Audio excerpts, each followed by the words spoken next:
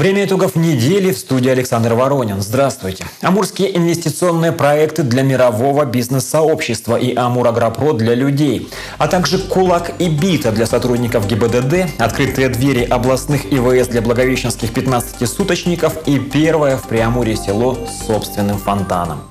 За эти семь дней в области произошло много разных событий. О них вместе со мной вам расскажут мои коллеги, журналисты Первого областного канала.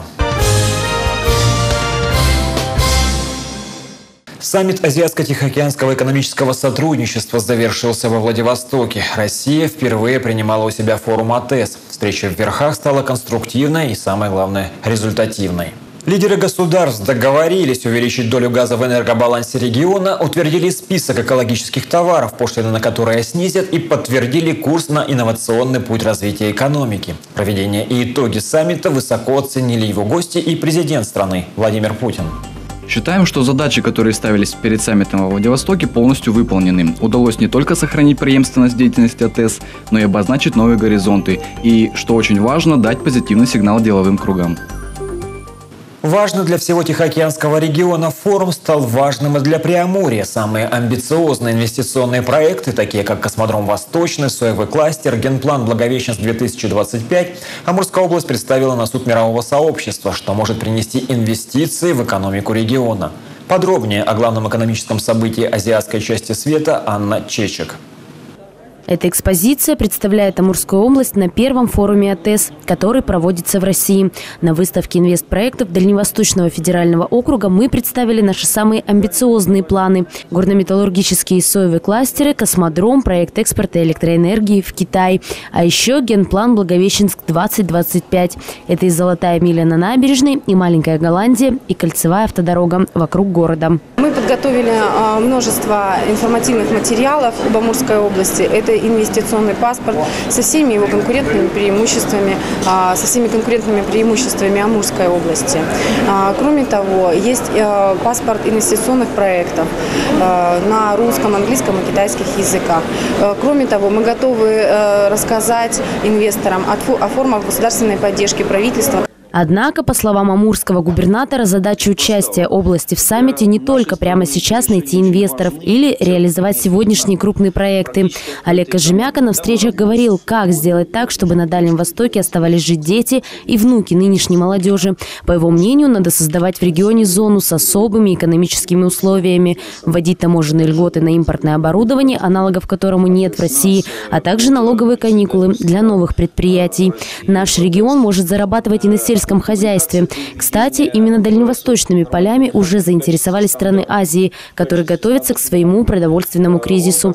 Так, глава Преамурья предложил экспортировать мясо амурских герефордов. Продовольственная безопасность играет, сегодня мы видим, э, значимую роль. Дальний Восток может быть э, очень привлекательным для инвестиций именно в сельское хозяйство, э, выращивание там, продукции животноводства, растениеводства и глубокой переработки поставки на рынке Азиатско-Тихоокеанского региона. На саммите амурский губернатор посетил мобильный офис в центре Владивостока, где жители города пользуются госуслугами через интернет. Таким способом можно подать заявку на получение паспорта и других документов. В Амурской области сайт электронного правительства тоже работает, но специальных офисов с открытым доступом в интернет, где консультируют и помогают, пока нет. Но в стране их всего несколько. В Санкт-Петербурге, Екатеринбурге, Новосибирске, а теперь и во Владивостоке.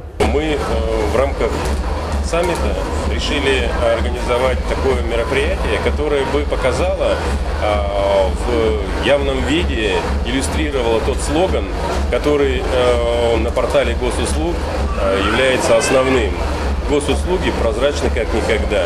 Вот этот мобильный офис стеклянный кубков, как мы его называем, он сейчас э, демонстрирует, насколько все прозрачно, какие услуги можно получить, не встречаясь с чиновником. Также глава региона предложил создать так называемый рынок геологических открытий для изучения месторождений полезных ископаемых в дальневосточном регионе. По словам главы Преамурья, по итогам форума Россия обязана принять те решения, которые позволят Дальнему Востоку развиваться опережающими темпами. Ну а в самом Преамуре отгремела сельскохозяйственная выставка-ярмарка «Амур-Агропрод». Своих участников со всех уголков области она собрала уже в одиннадцатый раз. В Благовещенск, чтобы похвастаться своим урожаем, а заодно и продать его часть, приехали больше сотни сельхозпроизводителей. А купить товар незадорого пришли тысячи благовещенцев. Кстати, главный крестьянский праздник года считается еще и неофициальными проводами лета и проходит с песнями под звуки баяна. Чтоб не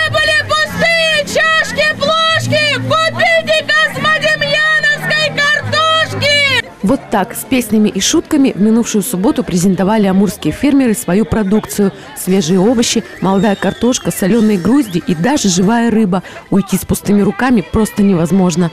Все, чем богата амурская земля, по красной цене. А главное, можно попробовать на вкус.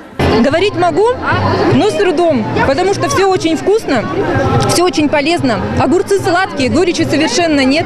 Я попробовала грибы, замечательные грузди. Посоленные отлично. У меня мама повар, поэтому я специалист по дегустации. Очень вкусно. А для тех, кто еще не успел запастись витаминами на зиму, прилавки с соленьями. Все от маринованных огурчиков до аппетитной заправки для борща. Подходи, честной народ, покупай соленья, огурцы и помидоры, а еще варенье. Домашние заготовки разлетались, как горячие пирожки. Продавцы говорят, потому что наше все, амурское. Мы обязательно, мы все продаем. Мы никогда домой ничего не привозим. У нас все забирают. У нас э, профессии здесь у всех совершенно разные. Мы просто приехали на ярмарку, как бы мы каждый год приезжаем сюда. Выставка-ярмарка «Амур Агропрод» – одно из самых ожидаемых событий года. Ведь за сельским хозяйством уверены на местах будущее региона. Испокон веков Амурская область была житницей Дальнего Востока. Мясное направление. Вот я радуюсь за наших соседей, ромнинцев. У них заходит много крупного рогатого скота, несколько несколько тысяч будет голов. В Мазановском районе мы увеличили на 3000 гектаров посевные площади под сою, увеличились посевные площади под гречиху. Завершила свою работу выставка-ярмарка во второй половине дня. За несколько часов торговые ряды практически опустели. Теперь вся продукция переедет на прилавки амурских магазинов. Сбор урожая в Преамуре в самом разгаре. Амурские фермеры презентуют свою продукцию на агровыставках и ярмарках выходного дня. Но не все так просто в их жизни. Казалось бы, 21 век, но аграрные дела по-прежнему требуют огромного труда, до седьмого пота. А тут еще и конкуренция, и ладно бы своя, отечественная, но сражаться приходится в первую очередь с иностранными сельхозинтервентами. О том, в каких условиях растет этот самый урожай и как амурские аграрии справляются с конкурентами, материал Светланы Кисловой. Импортные овощи уже давно встали фермеру Владимиру Шилову поперек горла. Несколько лет назад из-за низких цен на продукцию, выращенную иностранцами, ему даже пришлось пустить под барану арбузное поле. Сборы и продажа урожая обернулись бы большими убытками. Постепенно он отказался от многих других овощей. Теперь у него на полях растет только то, что его конкурентам и их зарубежным работникам оказалось не по зубам – капуста, морковь, свекла и, как ни странно, картофель. Я занимался производством, хочу сказать, и арбузов, и редиса, огурцов, кабачков, перца. Вот, все это я э, бросил из-за того, что э, ну, было очень много продукции выращено китайскими производителями. Шилов принципиально берет к себе на работу только соотечественников. Елена Рыжикова уже 8 лет трудится на этой ферме. До этого сотрудничала с зарубежными соседями. Говорит, не понравилось. Там химикатов много.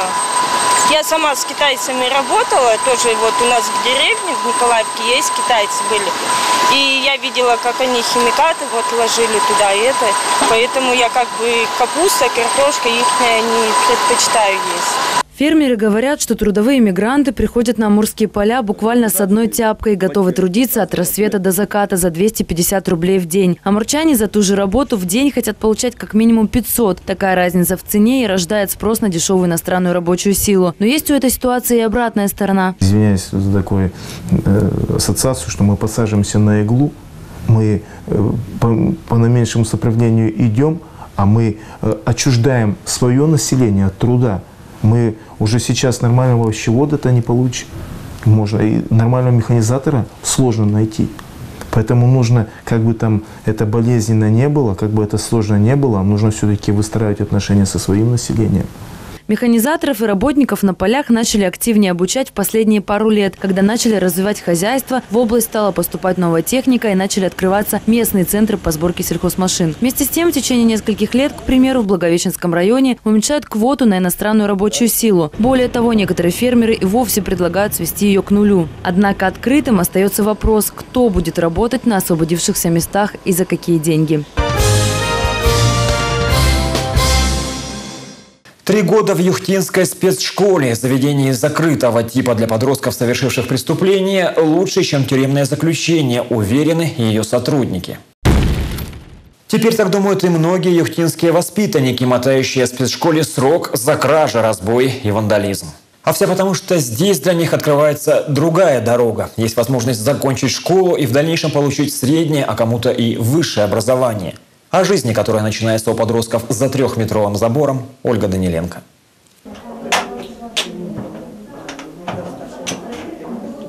Теперь 16-летний Роман на шахматной доске исправляет когда-то сделанные неверные ходы в своей жизни. За два года, что он находится в Юхтинской спецшколе, подросток стал чемпионом в областных соревнованиях по шашкам. Как говорит, только после победы понял, здесь ему дали реальный шанс исправиться и начать новую партию, уже в правильной жизни. Дома вообще учился плохо. Можно сказать, даже в школу не ходил. Ну, а здесь все нормально. Так, тройки, четверки. Ну, вот экзамены были, все, на все четверки написал. Я хочу сейчас здесь, 10 класс, экзамен за 9 сдать. В новой форме только. Я же в старой форме сдавал. А мне нужна новая форма, чтобы поступить нормально. Возможность сдавать экзамены в форме ГИА или ЕГЭ спецшкола получила не так давно. Теперь у воспитанников есть выбор, как проверить свои знания – традиционными экзаменами или в тестовой форме. Но последнее становится все популярнее, говорят учителя. Ведь благодаря итоговой аттестации больше шансов успешно устроиться в жизни. И готовиться к такому экзамену надо более основательно. Очень много занимаемся с детьми, когда они выбирают вот ГИА, у нас идут консультации одна или две в неделю. То есть э, и нужно еще убедить ребенка, что должен прийти на консультацию. Причем не с пустой, так скажем, головой, а с какой-то уже информацией проработанной. То есть ты должен задать вопросы, должен тренироваться, должен силу воли, так скажем, свою вырабатывать, чтобы сдать ГИА и получить тот самый долгожданный аттестат. Первые результаты тестов удивили. Почти все сдали на четверки. Однако с нового учебного года здесь столкнулись с другой проблемой. В саму спецшколу поступают мало детей. Их всего 85, при том, что раньше было почти вдвое больше. По статистике, которую ведет отдел по делам несовершеннолетних, в этом году на учете состоят 545 ребят. И причина нехватки учеников, объясняют здесь, вовсе не в снижении подростковой преступности. Инспекторы по делам несовершеннолетних чаще контролируют их на дому. Школа является элементом профилактики системы правонарушений, а не элемент наказания какого-то. Поэтому надо более эффективно использовать нас в этом направлении. Многие суды боятся выносить такое решение, направить, потому что связано с ограничением свободы. Мы постоянно показываем наши учреждения и по телевидению, и проводим областные мероприятия на базе нашего учреждения. То есть э, знают все, что это, в общем-то, учреждение способно справиться с теми задачами, которые стоят перед нами по исправлению детей. Для того, чтобы принять больше детей, в Юхтинской спецшколе сейчас делают капитальный ремонт. Уже полностью отреставрировали бытовой корпус, который не один год находился в аварийном состоянии. Заменили окна, пол и сантехнику. Кроме того, здесь появится новая игровая с мини-библиотекой и учебные классы по истории и физике. Все для того, чтобы школа не была похожа на тюрьму. Профилактики в подростковом возрасте, видимо, не хватило тем, о ком пойдет речь дальше. В Крещеновке трое молодых отморозков, иначе их назвать трудно, напали на сотрудников ГИБДД. Наряд ДПС пытался остановить иномарку, но и водитель требования проигнорировал. Началась погоня. Стражи порядка пытались преградить дорогу беглецам, но обе машины столкнулись лоб в лоб, после чего молодые люди из иномарки набросились на полицейских. Один из нападавших душил инспектора, другой отобрал табельное оружие и произвел выстрел в воздух. Напарнику инспектора пришлось стрелять. Только после этого нападавшие отступили. Тем временем один из них попытался уехать на патрульном автомобиле, но по дороге в Крещеновку не справился с управлением и врезался в дерево. Сейчас нападавшие задержаны. Ими оказались жители Ивановского района 1980, 84 и 89 годов рождения. Возбуждено уголовное дело. За посягательство на жизнь сотрудников правоохранительных органов им грозит срок вплоть до пожизненного. Что касается атакованных отморозками сотрудников ДПС, то их сейчас обследуют медики. Пока известно, что у обоих черепно-мозговые травмы, серьезные ссадины, у одного из полицейских сильно повреждено лицо.